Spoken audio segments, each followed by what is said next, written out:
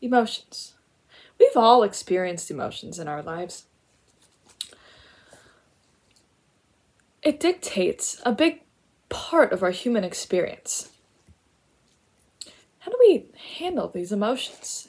And it is certainly is a mystery to us. As it affects our body physically, our process of reality, and can influence our behaviors, which can be used for healing or can be used for damaging.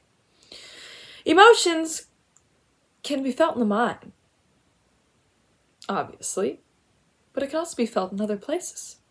Using thermal imagery, scientists are able to see exactly where emotion lights up the body in a heat signature. And they found that our core is a big portion of where we experience emotions, not just our head.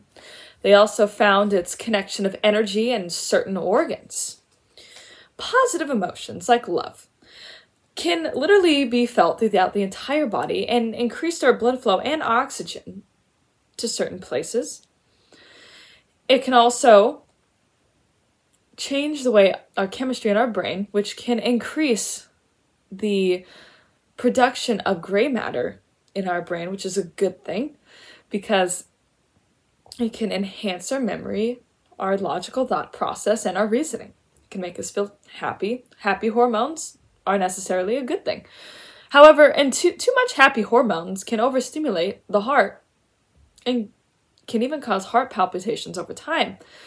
It is all about a fine balance.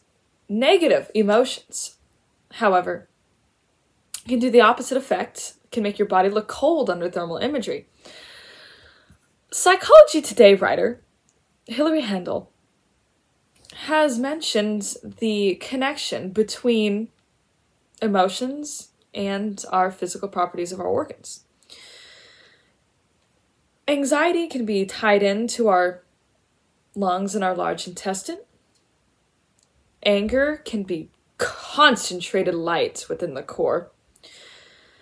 It can also change the chemistry in our brain and and produce less hormone to bring in building cells and shrink certain parts of our brain, like our hippocampus, which is used for memory and for critical thinking.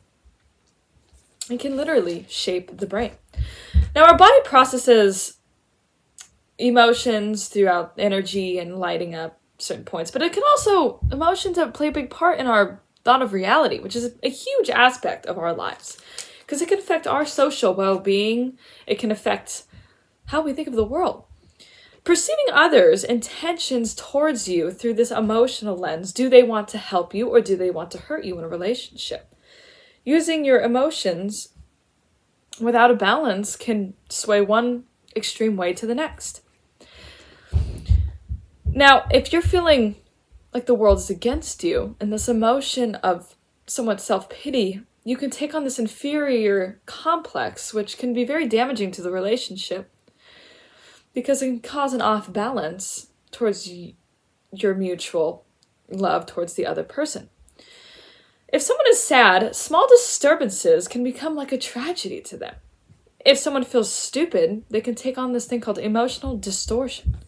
They can believe they are stupid. And in that case, it can affect their relationships with really anyone they meet because they if they believe they are stupid, other people will believe they are stupid.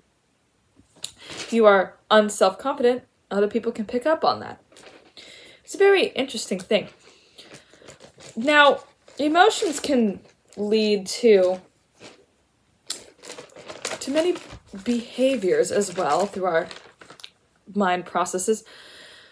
And these behaviors can be very negative and damaging, but they can also help benefit and restore our bodies we have so much built up energy from these emotions. Doing behaviors such as artistic expression can engage the parasympathetic nerve system inside of us. And that can bring our body to a state of rest or digest. And that in turn can promote healing within us. Because when we are in the rest of digest phase, we're not stressed about things. We're not sending soldiers in random directions, soldier cells. We're, we're just relaxed so our body has a better chance to pinpoint on healing and recovery than dispersion. Calming down when coloring reduces anxiety, engages the parasympathetic nervous system. Music, if you listen to music or do music, it can access your subconscious.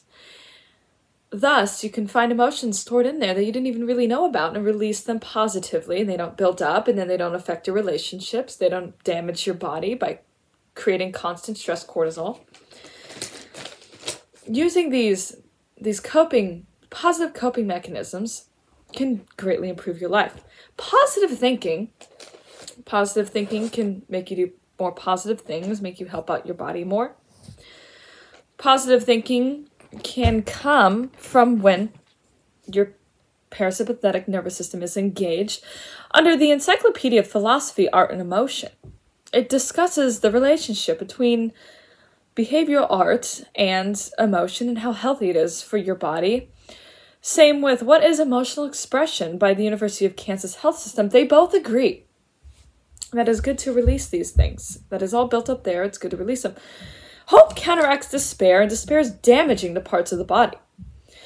A happier mindset stimulates more blood flow and oxygen regulates blood pressure. I hope you can realize the importance of emotions in your life and how to understand it, to harness its power, because it's a powerful thing, and to propel yourself forward in life. We are all on a self-seeking journey, and emotion is our most mysterious stranger. We can it can affect us physically. It can also affect how we see reality, and it can affect our behavioral changes and even can promote healing if we allow it.